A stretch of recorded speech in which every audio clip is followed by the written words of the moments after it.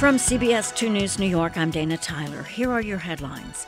The NYPD says a man killed the mother of his child and two of the woman's daughters in their apartment in Brownsville, Brooklyn. The shooter's nine year old daughter was the only survivor. Police say she called 911 and told dispatch her father started shooting at her birthday party. Police say the man turned the gun on himself and took his own life outside the building.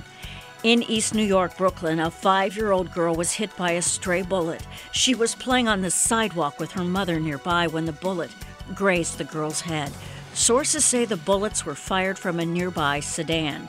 The child is expected to be all right. The mother was not hurt.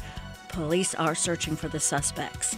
At the Derek Chauvin murder trial in Minneapolis, questions on whether a friend of George Floyd will testify. Chauvin's accused in Floyd's death last year after kneeling on his neck. Morries Hall was in the car with Floyd when police confronted them. According to previous testimony, Hall had sold drugs to Floyd. Hall says he will invoke his Fifth Amendment right against self incrimination on the stand.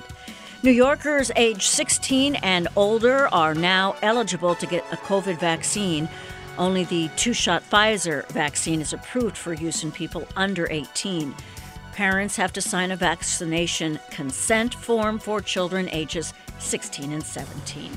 In our weather, what a beautiful Tuesday. Lonnie Quinn says Tuesday night, mostly clear, the low 49 degrees. Wednesday, another great day, mostly sunny, a high of 67. And Wednesday night, a few more clouds, the low 48. You can get your forecast and local news headlines 24 7 streaming on CBSN New York.